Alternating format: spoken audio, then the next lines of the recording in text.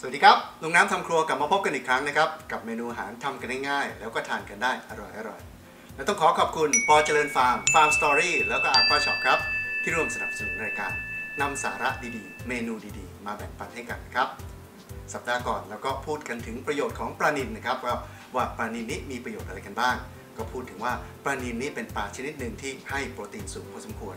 วันนี้เรามาคุยกันเรื่องปลานิลกันต่อนะครับว่าประโยชน์ของปลานิลนอกจากที่มีโปรตีนสูงแล้ว ยังมีอะไรที่เป็นประโยชน์บ้างนะครับ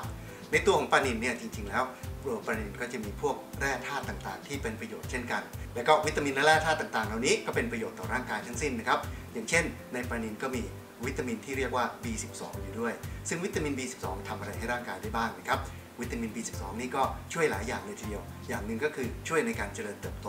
แล้วก็ทำให้ระบบประสาทแข็งแรงด้วย และวิตามิน B12 ก็ยังมีส่วนช่วยในการสร้างเม็ดเลือดแดงด้วยแถมไม่พอยังทำให้กระดูกของเราแข็งแรงขึ้นด้วยครับ นอกจากวิตามิน B12 นะครับ ในปลานิลก็ยังมีแร่ธาตุต่างๆ อีกมากมายเลยทีเดียว ยกตัวอย่างอีกอย่างหนึ่งก็คือฟอสฟอรัสสำหรับฟอสฟอรัสนะครับก็ช่วยในการทำให้เหงือกและฟันของเราแข็งแรงมากยิ่งขึ้น และนอกจากนั้นก็ยังช่วยในการที่จะซ่อมแซมส่วนสึกหรอต่างๆ และในปลานิลนะครับก็ยังมีแร่ธาตุอีกอย่างหนึ่งก็คือแมกนีเซียม ซึ่งตัวแมกนีเซียมเนี่ยก็ช่วยให้ป้องกันโรคกระดูกพรุนได้ แล้วก็ยังช่วยเผาผลาญไขมัน และเปลี่ยนไขมันให้เป็นพลังงานได้อีกด้วยครับนี่ก็เป็นแค่แร่ธาตุวิตามินคร่าวๆ ที่เราพูดถึงนะครับนอกเหนือจากแร่ธาตุต่างๆ ที่เราพูดมาสักครู่นี้แล้วนะครับปลานิลยังมีอีกอย่างหนึ่งที่เรารู้จักกันเป็นอย่างดีเลยทีเดียว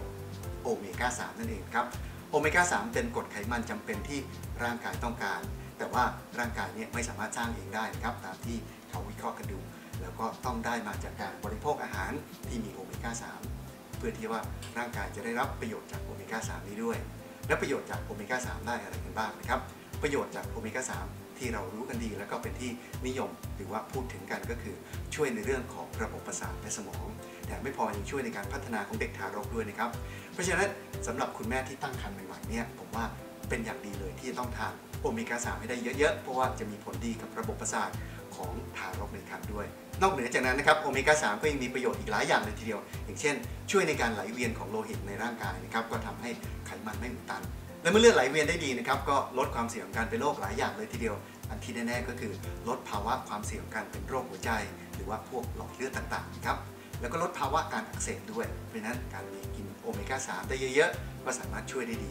และอีกอย่างหนึ่งที่เรามักจะได้ยินกันแน่ๆ ก็คือโรคอัลไซเมอร์นะครับหรือโรคสมองเสื่อมนั่นเอง โอเมก้า 3 ก็ช่วยให้เราพัฒนาสมอง แล้วก็บำรุงสมองไม่ให้เป็นโรคภาวะความสมองเสื่อมได้เร็วขึ้นนะครับ เพราะฉะนั้นก็ทานโอเมก้า 3 ให้เยอะๆแล้วกันและนอกเหนือจากนั้นก็ยังช่วยลดความเสื่อมของประสาทตาได้อีกด้วยนะครับก็สามารถที่จะมีสายตาที่มองได้ดีขึ้นนั้นโอเมก้า 3 ค่อนข้างจะมีประโยชน์หลายอย่างเลยทีเดียว หาทานไว้เยอะๆนะครับ เพราะว่าปลาบ้านเหล่านี้สำหรับปลาน้ำจืดก็มีโอเมก้า 3 หลายชนิดเลยทีเดียว ปลานิลก็เป็นหนึ่งใน 6 ชนิดที่มีโอเมก้า3ค่อนข้างเยอะ เดี๋ยวมาดูกันสิครับว่าปลา 6 ชนิดที่มีโอเมก้า3ค่อนข้างเยอะ หรือค่อนข้างสูงนั้น มีอะไรกันบ้างสำหรับปลาบ้านเราครับ อันดับแรกเลยก็คือปลาจระเม็ดขาวครับปลาจระเม็ดขาวนี่ถือว่าเป็นตัวที่มีโอเมก้า3ค่อนข้างจะสูงเลยทีเดียว มีความมีปริมาณโอเมก้า3ถึง 840มิลลิกรัมรองมาก็คือปลาดุกครับ 460 ปลาช่อน 440 ปลากระพงขาว 400 มิลลิกรัมปลาทู 220 มิลลิกรัม และสุดท้ายใน 6 อันดับของเราก็คือปลานิลนั่นเองครับ มีปริมาณโอเมก้า 3 ถึง 120 มิลลิกรัม ที่พูดนี้ก็คือสำหรับเนื้อปลา 100 กรัมครับ ก็เป็นข้อมูลคร่าวๆนะครับ เกี่ยวกับปริมาณโอเมก้า 3 ที่อยู่ในปลาแต่ละชนิดที่มีในบ้านเราปลานิลก็เป็นหนึ่งในนั้นนะครับ เพราะนั้นวันนี้เราปลานิลมาทำเมนูอาหารอีกสักหนึ่งเมนูกัน เมนูง่ายๆ แล้วก็มีความแซ่บแบบแนวอีสานกันด้วยนะครับ เมนูวันนี้เรามาทำ หมกปลานิลครับ ก่อนจะไปสาระเมนูอาหารทำง่ายๆ แล้วก็ทิปดีๆ อย่าลืมกดติดตามกันด้วยนะครับ แล้วก็กดกระดิ่งเพื่อวันหน้ามีคลิปใหม่ๆ จะได้เตือนกันด้วย เรามาดูองค์ประกอบของหมกปลานิลกันเลยครับ เริ่มกันที่ปลานิลครับ เนื้อปลานิลครับสำหรับเนื้อปลานิลนี้หนึ่งตัวนะครับล้างทำความสะอาดเรียบร้อยแล้วอย่าลืมนะครับว่าปลานิลนี้ต้องล้างทำความสะอาดในท้องนะครับคราบสีดำๆขูดออกให้หมด เพื่อที่ว่าจะได้ลดกลิ่นดิน และก็กลิ่นสาบโคลนที่อยู่ในเนื้อปลานิล ก็จะได้ปลานิลที่สะอาด แล้วก็ไม่มีกลิ่นสาบดินสาบโคลนด้วย ล้างในน้ำเกลือแล้วก็จะช่วยให้ปลานิลนี้หมดความคาวไปด้วยนะครับเรามาดูองค์ประกอบต่อไปครับ ส่วนต่อไปเป็นส่วนที่มาตำเป็นน้ำพริกนะครับ ก็มีตะไคร้ครับ ผมใช้ประมาณสัก2อสต้นซอยให้เรียบร้อยนะครับ เดี๋ยวเราจะมาโขลกโขลกกัน พริกแดงชี้ฟ้าอีกประมาณสัก6-7ลูกหรือว่า5-6ลูกก็แล้วแต่ความชอบนะครับ แล้วก็ผสมไปด้วยพริกขี้หนูจะได้มีความหอมอีกสักเล็กน้อยประมาณสัก 10กว่าเม็ดนะครับ อีกอย่างหนึ่งก็คือหอมแดงครับ ตรงนี้ผมใส่ประมาณสัก7-8หัว ก็เดี๋ยวจะได้มาตำรวมกันนะครับเพื่อที่จะได้เป็นน้ำพริกสำหรับคลุกกับเนื้อปลาเรามาดูองค์ประกอบต่อไปครับ ในส่วนปรุงรสที่ทำให้หมกปลานิลของเรามีรสชาติมากยิ่งขึ้นนะครับ ก็มีน้ำปลาร้าครับประมาณสัก1ช้อนโต๊ะ น้ำปลาอีก 1 ช้อนโต๊ะนะครับข้าวคั่วประมาณสัก 2 ช้อนโต๊ะกับคลุกคลุกเข้าไปด้วย แล้วก็ตัวเกลือครับเกลือป่นอีกสักประมาณสัก 1 ช้อนชาน่าจะพอก็ใส่เข้าไปเดี๋ยวได้คลุกไปพร้อม ๆ กัน และสุดท้ายนำมาดูพวกผักต่างๆครับ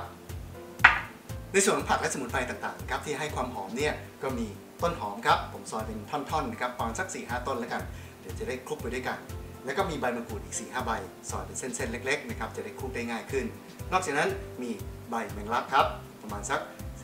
หนึ่งกำมือก็เดี๋ยวฉีกเฉพาะใบๆแล้วก็ผสมลงไปด้วย และผักที่ให้กลิ่นหอมอีกอย่างหนึ่งก็คือผักชีลาวครับ ซึ่งผักชีลาวนี้ให้กลิ่นหอมที่ ถูกใจจริงนะครับผมชอบมากเลยทีเดียว ก็เดี๋ยวเราฉีกเป็นก้านๆนะครับแล้วก็ใส่ลงไปจะยำๆทั่วๆแล้วก็จะได้กลิ่นหอมที่มีหมกปลาอร่อยๆเลยทีเดียวเพราะฉะนั้นเมื่อทุกอย่างครบเรียบร้อยแล้ว เรามาเริ่มตำน้ำพริกกันเลยครับ อันดับแรกเลยก็หอมแดงครับตามด้วยพริกแดงชี้ฟ้า แล้วก็พริกขี้หนูผมใส่ไปสัก4-5เม็ดก่อนแล้วกัน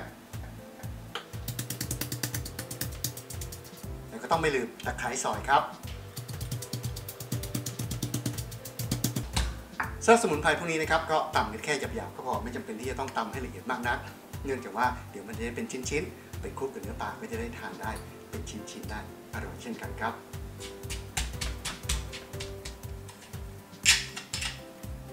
แต่ประมาณนี้กำลังสวยงามเลยทีเดียวสำหรับพริกนะครับถ้าหากว่าใครอยากใช้พริกอย่างอื่นอย่างเช่นพวกพริกกะเหรี่ยงก็ได้เช่นกันครับตอนนี้ผมใช้เป็นพริกแดงกับพริก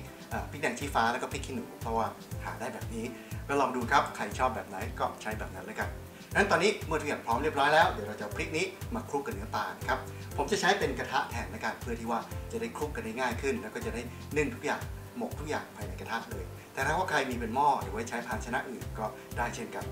เรามาเริ่มหมกตัวปลากันเลยครับ ตามด้วยพริกที่เราตำไปเรียบร้อยแล้ว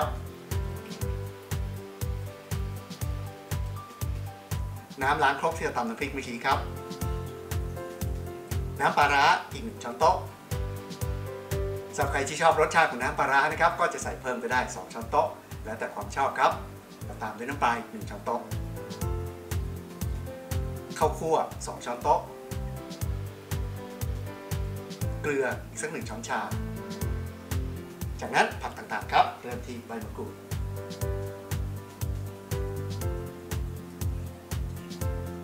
ต้นหอมซอย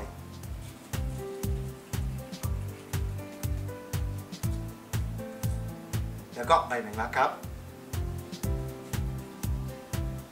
สุดท้ายผักชีลาวครับเดี๋ยวจากนี้ก็จัดการคลุกให้เรียบร้อยครับ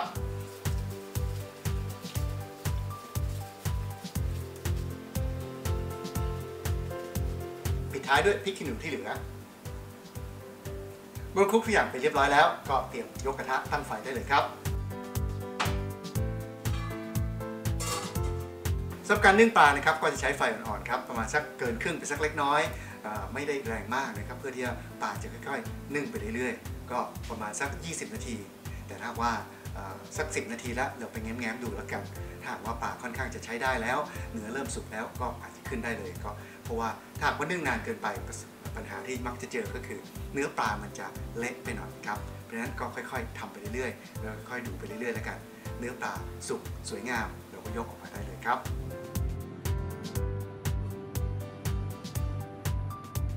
ตอนนี้ผมนึ่งปลามาได้ประมาณสัก 15 นาทีนะครับ เมื่อกี้ก็แอบไปแง้มดูเล็กน้อยแล้วล่ะ เห็นว่าเนื้อปลาเริ่มขาวขึ้นมา แสดงว่าตัวเนื้อปลาเริ่มสุกมาประมาณหนึ่งแล้วกะว่าอีกสักนิดนึงครับนึ่งอีกสักประมาณสัก 5 นาทีแล้วกัน ให้ปลาสุกกว่านี้สักเล็กน้อย แล้วก็ตัวผักสลดกว่านี้อีกสักนิดหนึ่งแล้วก็หลังจากนั้นจะได้ตักใส่จานก็ได้เลยครับ เป็นเรียบร้อยแล้วนะครับสำหรับเมนูวันนี้หมกปลานิลครับกลิ่นค่อนข้างใช้ได้เลยทีเดียว นี่ขนาดใส่ปลาร้าแค่ 1 ช้อนโต๊ะเท่านั้นเองถ้าใส่ 2 ช้อนโต๊ะคงคลุ้มกว่านี้แน่นอนเลยนะครับ แต่ก็แล้วแต่ชอบครับ ใครชอบปลาร้ากันเยอะๆก็รับรองว่าถูกปากกันแน่นอน เดี๋ยวมาแต่งหน้าอีกนิดนึงครับเรามาวางยอด ใบแมงลักพริก แล้วก็ผักชีลาวสักเล็กน้อย เพื่อความสวยงามครับ ก็เป็นอันเรียบร้อยแล้วนะครับสำหรับเมนูนี้ลองทำกันดูเมนูง่ายๆทำกันเร็วๆเลยทีเดียวนะครับรสชาติออกไปทางแบบแซ่บๆจิ้มกับข้าวเหนียวนี่ผมว่าได้ใจพอสมควรเลยทีเดียว